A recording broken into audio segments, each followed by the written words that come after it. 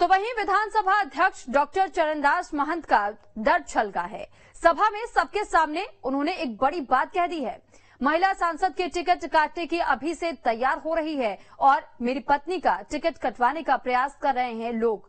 तो मेरी पत्नी राजस्थान, मध्य प्रदेश और छत्तीसगढ़ से इकलौती महिला सांसद है। महिला सांसद का भी लोग टिकट काटने के प्रयास में है और पहले भी राज्यसभा जाने को लेकर के उनका दर्द छलका था। तो ये जानकारी आपको दे दी कि कोरबा की सभा में उन्होंने एक बड़ी बात कह दी। उन्होंने कहा कि महिला सांसद की टिकट काटने की तैयारी हो रही है और जिस तरीके से ये तैयारी की जा रही है, पत्नी ज्योत्सना का टिकट कटवाने का हो रहा है प्लान और इसी को लेकर के उन्होंने ये बड़ी बात कही और उनका दर्द छलका हुआ नज़र आया। दरअसल स्पीकर चरणदास महंत के जो दर्द इस दौरान छल के और उन्होंने ये बड़ी बात कह दी। उन्होंने कहा कि किस तरीके से देखिए, ये पूरी प्लानिंग के तहत में एक महिला का टिकट की तैयारी की जा रही है और मेरी पत्नी का टिकट काटने का प्रयास लोग कर रहे हैं। मेरी पत्नी, राजस्थान मध्य प्रदेश और छत्तीसगढ़ से इकलौती महिला सांसद और ऐसे में महिला सांसद का भी लोग टिकट काटने का प्रयास कर रहे हैं। तो पहले भी राज्यसभा जाने को लेकर के उनका दर्द छलका था और एक बार फिर से चरणदास की तरफ़ से बड़ी बात कही गई है। इस बात की जानकारी आपको दे दें कि दरअसल उनकी पत्नी को टिकट मिलना था, लेकिन उनके टिकट कटने की जो खबरें सामने आई, उसको लेकर के चरणदास महंत की तरफ़ से उनका दर्द छलका और उन्होंने सभा में बड़ी बात कह दी। तो उन्होंने अपनी बात रखते हुए कहा है कि महिला सांसद के टिकट काटने की अभी से तैयारी हो रही है। मेरी पत्नी का टिकट कटवाने का प्रयास कर रहे हैं लोग।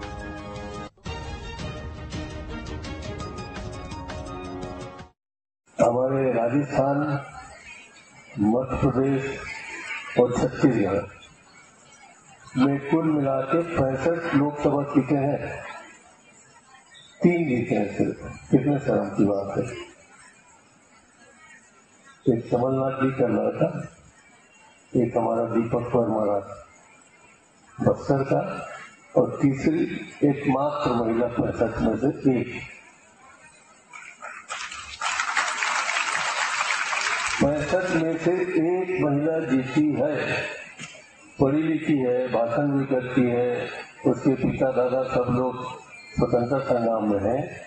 मगर यहाँ उसकी टिकट को काटने के अभी से लाइन लगाए थे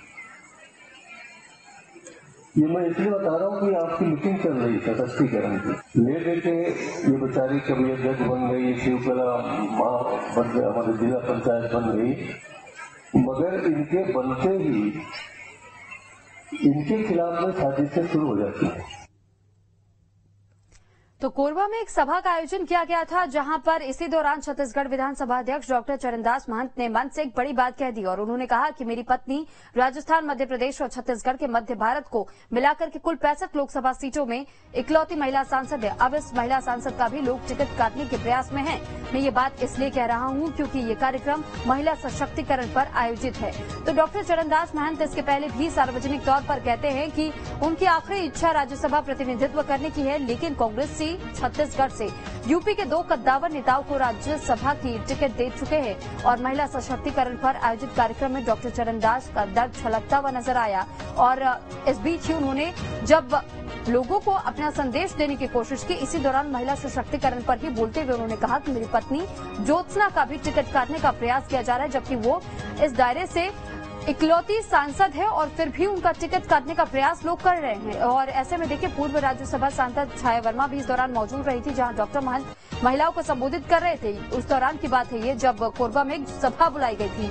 और इसी सभा में डॉक्टर चरणदास का ये दर्द छलका है। तो चरणदास महंत का जिस दौरान दर्द छलका और नारी सशक्तिकरण पर ही बातचीत करते हुए उन्होंने कहा है कि महिला सांसद का टिकट काटने का प्रयास जिस तरीके से किया जा रहा है, ऐसे में कहीं न कहीं ये सोचने वाली बात हो जाती है कि आखिर जब इकलौती महिला सांसद है, लेकिन फिर भी उनका किस तरीके से लोग टिकट काटने का प्रयास अभी से कर रहे हैं। और वहीं उन्होंने ये भी कहा कि मैं ये बात इस वजह से कह रहा हूँ क्योंकि ये महिला सशक्तिकरण का मंच है और महिलाओं को लेकर के बातचीत हो रही है।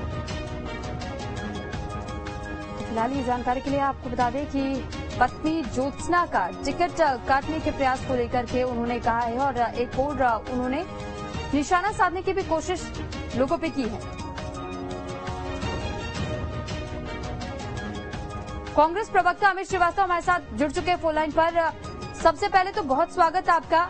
न्यू स्टेट मध्य प्रदेश छत्तीसगढ़ पर। आपसे जानना चाहेंगे कि जिस तरीके से देखिए चरण दास जी का दर्द छलका है और एक भरी मंच से उन्होंने ये कह दिया कि एक महिला सांसद का टिकट जानबूझकर काटने की कोशिश की जा रही है। क्या वाकई ये षड्यंत्र के तहत किया जा रहा है? आपको क्या लगता है? देखिए मान जी बहुत ही हमारे वरिष्ठ और आदरणीय नेता हैं और आपको मैं बता दूँ कि किस परिपेक्ष से उन्होंने कहा है क्योंकि मैं खुद पिछले एक महीने से आपके यहाँ दिल्ली में था तो मुझे आ, मैं वो बयान को नहीं देख पाया हूँ। लेकिन मुझे पूर्ण विश्वास है कि उन्होंने किस परिपेक्ष में कहा है। कि एक बार वो बयान सुनने के बाद ही मैं कुछ कहने की स्थिति में आऊँगा। लेकिन मुझे ऐसा लगता है कि छत्तीसगढ़ से हमारे दो सांसद अमित जी जीते फिर आप एक बार पहले वो बयान सुन लीजिए उसके बाद अपनी प्रतिक्रिया रखिएगा। बयान सुनिए। जी जी। हमारे राजस्थान मध्य प्रदेश और छत्तीसगढ़ में कुल मिला के पैंसठ लोकसभा सीटें हैं। तीन जीते हैं। सिर्फ़ कितने शर्म की बात है?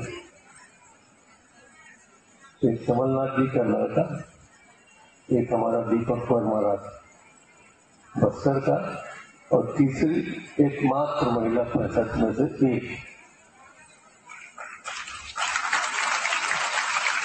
पैंसठ में से एक महिला जीती है, पढ़ी लिखी है, भाषण भी करती है, उसके पिता दादा सब लोग स्वतंत्रता संग्राम में है, मगर यहाँ उसकी टिकट को काटने के अभी से लाइन लगाए ये मैं इसलिए बता रहा हूँ कि आपकी मीटिंग चल रही सशक्तिकरण की ले देके ये बेचारी कभी अध्यक्ष बन गई, शिवकला महा बन जिला पंचायत बन गई। मगर इनके बनते ही इनके खिलाफ में साजिशें शुरू हो जाती है। तो अमित जी आपने अगर बयान सुन लिया हो अब मैं आपकी इस पर प्रतिक्रिया जानना चाहूँगी। उन्होंने बिल्कुल ठीक कहा। मध्य प्रदेश राजस्थान की जो पैंसठ सीटों में और जो हमारी भाभी जी हैं ज्योत्ना महन जी वो इकलौती महिला महिला सांसद हैं। और दूसरा टिकट उन्होंने जो कहा नकुल नाथ जी और हमारे दीपक बैस जी ये तीन सांसद हैं। और मुझे ऐसा लगता है कि भाभी जी बहुत मिलनसार भी हैं अच्छी वक्ता भी हैं उनके परिवार फ्रीडम फाइटर रहा है।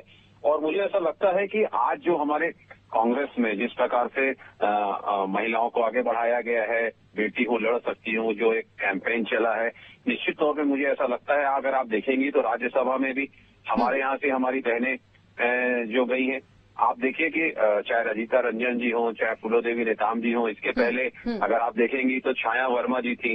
तो लगातार हमारे प्रदेश में महिलाओं को बढ़ाने का भी काम किया जा रहा है हमारी बहनों को बहने को क्योंकि वो बेहतर कहीं बेहतर काम भी कर रही हैं। तो मुझे ऐसा लगता है कि आने वाले समय में सारी स्थितियाँ परिस्थितियाँ क्या बनती हैं लेकिन मुझे ऐसा लगता है कि क्योंकि पर्सनली उस परिवार के मेरा भी बहुत अच्छे संबंध है।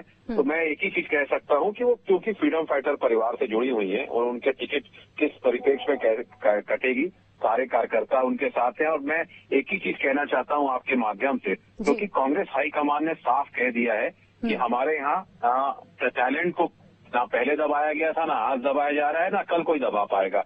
लेकिन निश्चित तौर पर मैं आपको बता दूँ कि जिस प्रकार से प्रियंका जी ने कैंपेन चलाया था बेटी हूँ लड़ सकती हूँ हर बेटी के साथ कांग्रेस का एक एक कार्यकर्ता कांग्रेस का एक एक नेता है और आपको मैं बता। दूँ कि जी। ठीक है, अमित जी, हमारे साथ राजीव चक्रवर्ती प्रवक्ता बीजेपी से भी जुड़े हुए एक बार उनसे भी जान लेते हैं कि उनकी प्रतिक्रिया क्या है और जिस तरीके के आरोप आप लगा रहे हैं कि वो बिल्कुल ठीक कह रहे हैं तो उनकी भी प्रतिक्रिया जानना ज़रूरी होता है। बहुत स्वागत है आपका राजीव जी न्यूज़ स्टेट मध्य प्रदेश, छत्तीसगढ़ पर। आपसे जानना चाहेंगे, अभी देखिए, जिस तरीके से छत्तीसगढ़ विधानसभा अध्यक्ष डॉक्टर चरणदास महंत ने अपनी पत्नी को लेकर के कहा कि जानबूझकर के प्रयास किया जा रहा है एक महिला सांसद का टिकट काटने का। इसमें आपको क्या लगता है कि क्या ये अब अंतर्द्वंद की स्थिति बन रही है पार्टी के बीच में या फिर किस तरीके की स्थिति को आप बयां करेंगे? क्योंकि कांग्रेस भी तो ये कह रही है कि महिलाओं को दबाने की कोशिश की जा रही है। हाँ देखिए कांग्रेस के अंदर एक कला ढाई ढाई साल का चाहे मामला हो या चरणदास महंत भी अपनी पीड़ा व्यक्त कर चुके हैं कि मुझे विधानसभा अगर वो उनकी इच्छा थी कि उन्हें विधानसभा के पटल की जगह उन्हें राज्यसभा भेजा जाए। हम्म। तो कहीं ना कहीं पर देखिए कांग्रेस के अंदर एक अंतर्द्वंद अंतरकला और एक भारी मन मुटाव का दौर चल रहा है। और जिस तरह भूपेश बघेल जी माननीय मुख्यमंत्री जी एकला चलो की नीति अपना रहे हैं वो अकेले सारा निर्णय ले रहे हैं तो कांग्रेस के अंदर एक वर्ग संघर्ष एक एक फूट और एक लड़ाई चल रही है। ये हमेशा से चले परिपाटी है। जब योगी जी भी मुख्यमंत्री थे सारा निर्णय अकेले करते थे हम्म। तो वो उसी परिपाटी को आगे बढ़ाते हुए भूपेश बघेल जी भी तो ये चरणदास महंत जी वरिष्ठ नेता हैं और पूरे कोयलांचल में उनकी एक गहरी पैठ है जनता के बीच में लोकप्रिय है। हम्म। उनकी पत्नी सांसद है वो खुद विधानसभा का प्रतिनिधित्व कर रहे हैं। तो उनके मन में जो पीड़ा है उन्होंने उस पीड़ा को व्यक्त किया है। और कांग्रेस को संज्ञान लेना चाहिए इस प्रकार से जो वरिष्ठ नेता है।